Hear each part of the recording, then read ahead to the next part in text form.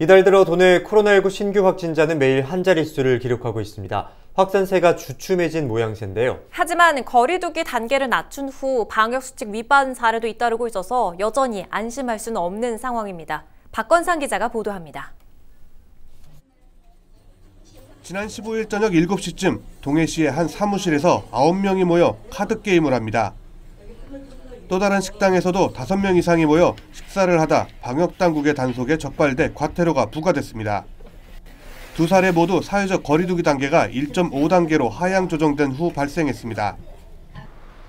동해 지역에서만 최근 한 달간 6곳이 영업 제한 시간 위반으로 적발돼 900만 원의 과태료가 부과됐습니다.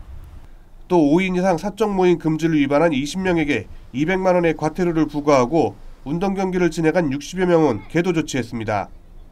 2월 들어 도내 코로나19 신규 확진자는 하루 평균 10명 미만입니다.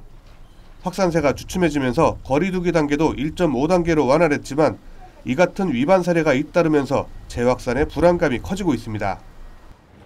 사회적 거리두기 단계가 60여일 만에 하향 조정된 동해 지역은 어느 정도 활기를 되찾고 있습니다. 그만큼 시민들의 방역 수칙 준수에 대한 긴장감도 떨어지고 있다는 지적입니다. 시민들도 경기 회복에 대한 기대감과 함께 불안한 마음을 감추지 못합니다. 어, 전에는 조금 상가나 이런 데가 좀 덜했었는데 음. 확실히 완화 요새 확진자가 많이 안 나서 그런지 조금 많이 사람들 돌아다니는 것 같아요. 음. 방역 당국은 경기 회복을 위한 거리두기 완화 조치가 재확산으로 이어지지 않도록 방역을 강화한다는 방침입니다. 특히 5인 이상 사적 모임 금지 위반에 대해서는 무관용 원칙을 적용하고 다중이용 업소의 방역 수칙 위반과 확진자 발생에는 구상권을 청구하겠다고 밝혔습니다. 예, 거리두기가 완화되었지만은 아직은 안심할 단계가 아닙니다. 학생들 개학 전까지 방역과 점검을 병행해서 최선을 다하도록 하겠습니다. 장기화된 코로나19를 극복하고 침체된 지역 경제를 회복하기 위해서는 방역 수칙 준수에 대한 자발적 참여가 무엇보다 중요합니다.